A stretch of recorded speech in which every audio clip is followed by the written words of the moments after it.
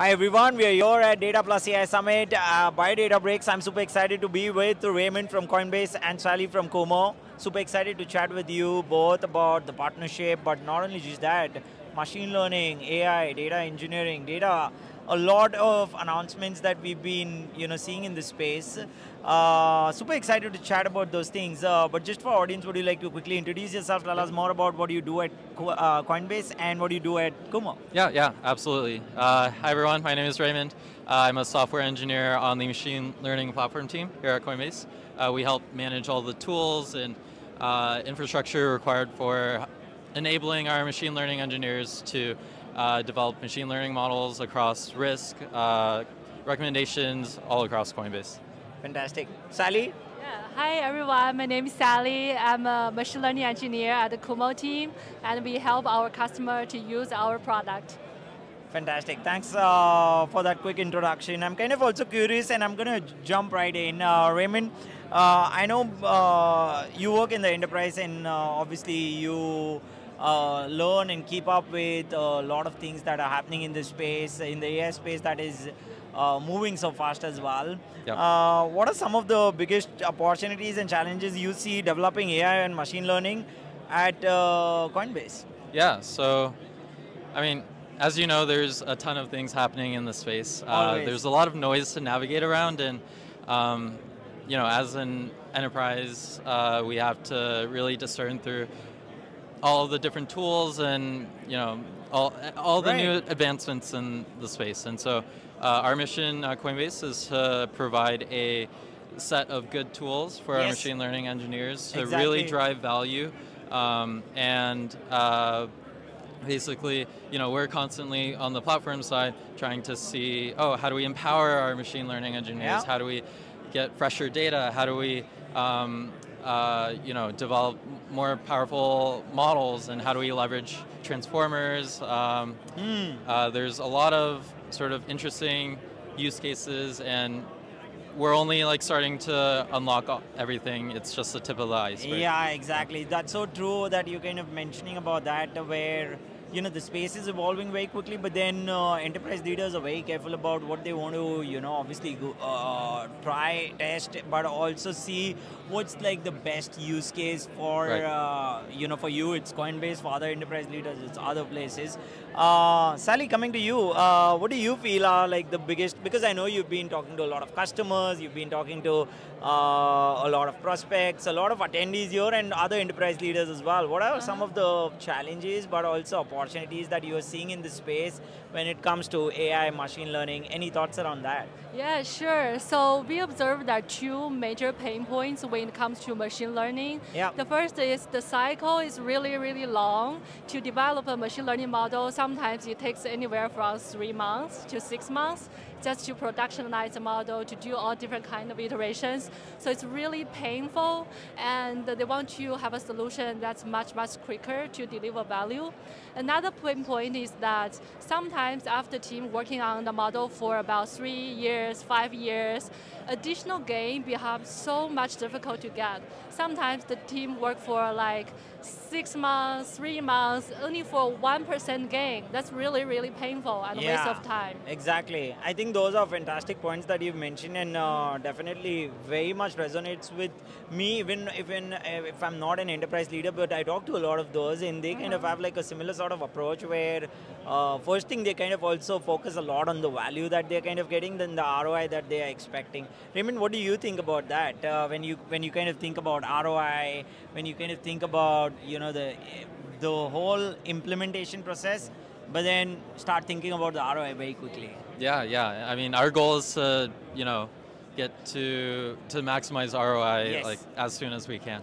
Yeah. Um, for a, you know a lot of MLEs, they you know care about you know the metrics, right? So yeah. um, how many ATOs or account takeovers have we uh, reduced uh, yeah. as a product of uh, perhaps uh, improving some of our models.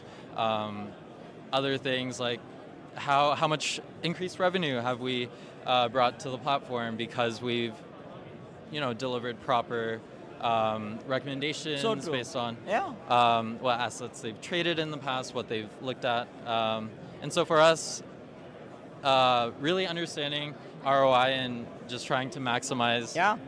that value It's very is important. super super important and what we try to do is we try to cut through all the crap um, we try Yeah. to um, you know really just focus on what we're good at and what we're good at is taking the data evaluating you know creating insights uh, creating features I love it. um, you know, using tools like Kumo uh, Yeah. to train graph neural networks um, so that we're able to predict, say, um, you know, whether whether uh, uh, there's one node that is problematic in, Hmm. Yep. in some way or a bad actor.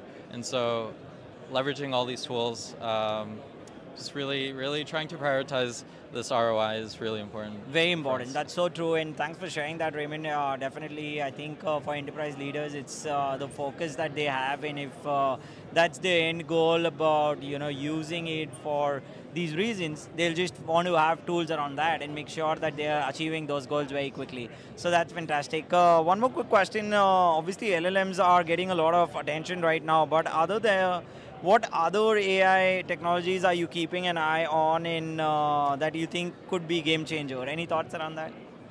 Ma'am, maybe Sally, you can go first now. Yeah, I can, yeah, I can go first. So when it comes to LLM, a lot of companies are building AI agents. Yep. But while they're building it quickly, they will come to a pain point. And the pain point is sometimes the AI agent need to be uh, powered by a predictive model. For instance, you are building a sales agent, you want to know which leads are most likely to convert, right? Because you do not want to spam your potential leads. You want to know predictively who are likely to convert. So what powers that prediction is usually a predictive model. So I think something that has been like go under notice is like how well your hmm. model can power your prediction. So to build a great AI agents, we actually need great models to power our agents. I think Kumo is also great for that. It's like Nice. if your agent, they can know like who is likely to convert, who is interested in what.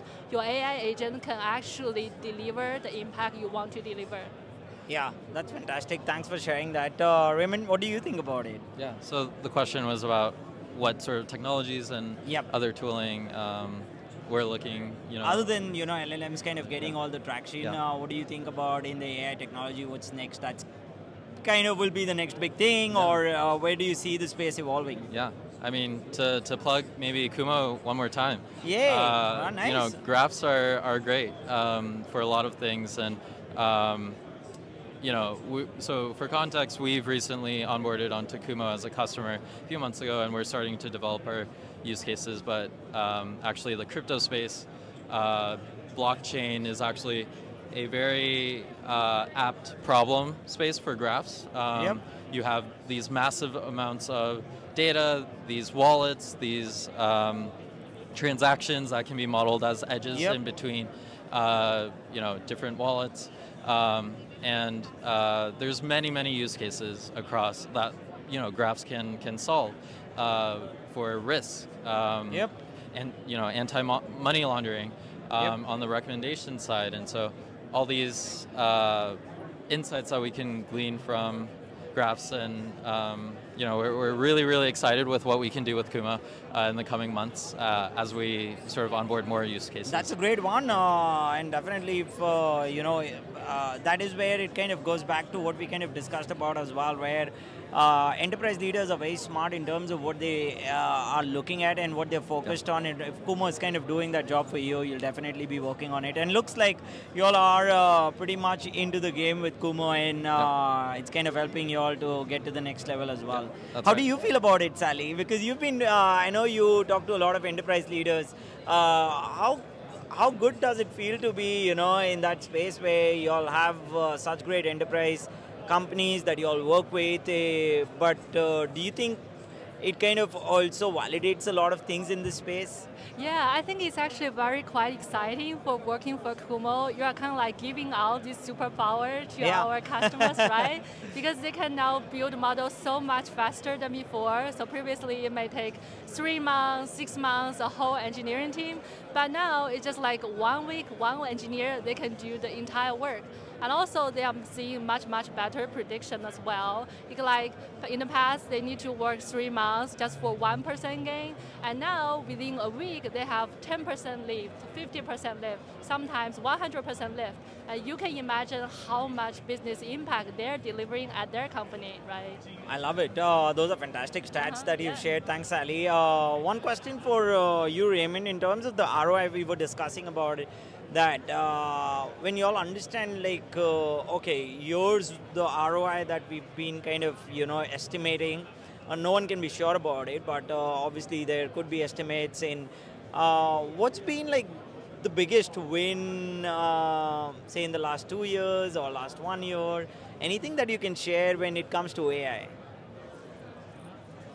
Yeah, um, I think uh, something that we've explored in the past few months are sequence features. Um, so, uh, sequence features are basically uh, sequences events. Uh, you can think them as uh, think of them as sort of you know signing on to the Coinbase app and then proceeding to buy an asset, Yep. sell the asset, navigate uh, somewhere else to do another transaction. And um, we've seen very, very significant lift uh, in adopting sequence features. Nice. Um, uh, and we're very excited to continue exploring uh, implementation across both risk and our recommendations. Um, yeah, we love it. uh, Uh, yeah. That is good in terms of the sequencing. So is it more like the the experience as well that kind of comes into the game when you're kind of talking about logging in or buying in an asset? That is like a sequence uh, itself, right? Yeah, so th- th- that's a sequence in itself, which we um, build uh, using our uh, feature platform. Yeah. Um, our feature platform. Uh, then what it does is it, um, you know, uh, passes it Yep. along to the model, um, and uh, from there it's able to capture the richness of the uh, the sort of user session. At the end of the day, that's exactly what a sequence is. It's just a collection of events. Yep. Um, we found that it's really uh, uh, uh, been super impactful to the point where it really is in the top 10 features Yep. uh, uh, with uh, respect to feature importance Yes. um, that we Yes. found.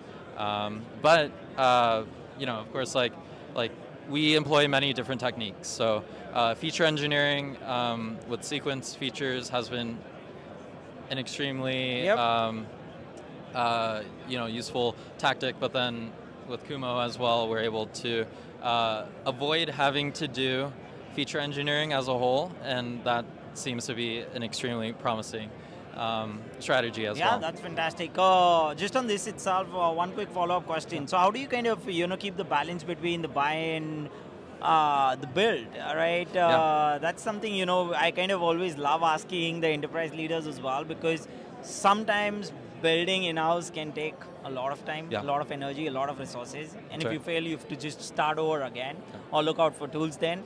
Uh, so, how do you kind of balance that out? Yeah, and that, that's a really great question, and I think something that we've really thought a lot about. Yeah. Um, the approach that we've adopted is, um, you know, we are a small team of around eight platform engineers for all of machine learning at Coinbase. Um, we really need to do what we do best, and that's uh, really working with our MLEs, trying to help them, uh, uh, you know, on the platform side. Yep. And so for us, uh, you know, the, the logic is almost should we put like an engineer, half an engineer's worth of time um, to build out, say, this, um, for example, to leverage PyG and develop a whole framework? Or is it better to leverage sort of the expertise of, Exactly. you know, um, a, a company? And so uh, in the past few years, we've really adopted um, this uh, buy approach, and Yes, um, yes. it's really helped us uh, really, really um, have tremendous impact. Um, we're able to build a lot more. We're able to produce a lot of this ROI. Yep. Um, and yeah, it, it's just at the end of the day, like we do what we do best. Yeah, Um, exactly. and we, you know, let the experts do what they do best as well. I love it. I love it. Uh, this is something which resonates with me very well again because I talk to a lot of leaders and they have kind of similar approach as well where it depends on a lot of things. It's not only just about building it in-house but the team size. Is it worth going in, you know, having so much of uh, energy put into, you know, resource that is available outside and we can fast and get our work done very quickly. So that helps a lot. One last question for both of you. If uh, folks want to reach out, learn more about what you're doing at Coinbase, just follow your journey as well. Uh, which is the best place? LinkedIn, X, wh- what's best? LinkedIn is perfect. Um, yeah, I'm active. Okay, awesome. You can follow Raymond on LinkedIn. Sally? And also follow me on LinkedIn for new Kumo updates. Awesome. This is great. Such a pleasure chatting with both of you. Thanks for taking the time out and uh, appreciate all the great work that you all are doing. Thank you, Thank you Sally. much. Thank Thanks, you, Raymond. Thank you. Thank you, everyone, for joining us today.